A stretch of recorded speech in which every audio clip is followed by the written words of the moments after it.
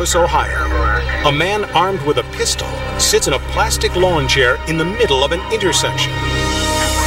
Suicidal over a breakup with his girlfriend, he makes two demands. He wanted to have a lawyer there to, to make his will out for him. He wanted to have his girlfriend uh, present so she could watch him be killed or kill himself.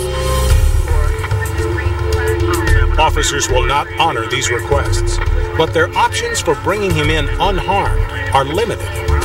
Surprising him was out of the question. There were such you know, huge areas that he was in the middle of that we couldn't get to him. Police negotiate with the suspect for two hours. They even give him a soda to try and gain his trust. But he continues to be irrational. Officers are left with only one hope for a peaceful resolution disarming the suspect by shooting the pistol out of his hand. It was an extreme situation at that point, so it demanded an extreme solution.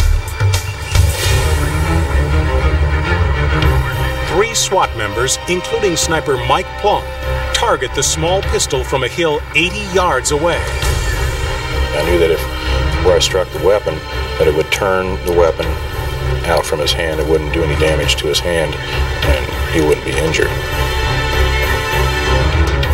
Finally, the order is given. The first man with a clear shot is to fire. 501 uh, Patrol, I, have authorized uh, officers to fire to shoot the weapon if possible. Commander 4, stand by with the apprehension.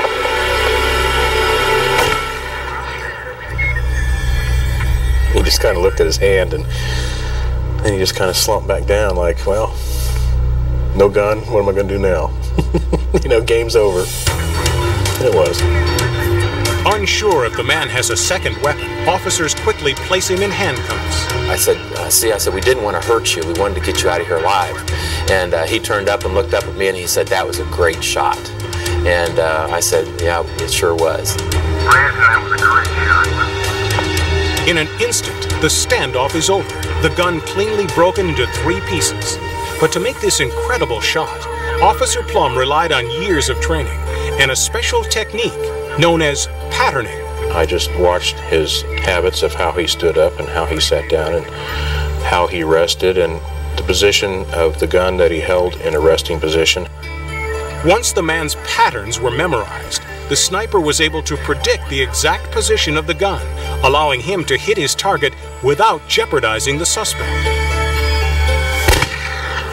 After the bullet hit the gun, it went between his legs and took a bite out of the uh, leg of the chair and went into a mound of dirt that was across the street, and uh, obviously no one was hurt.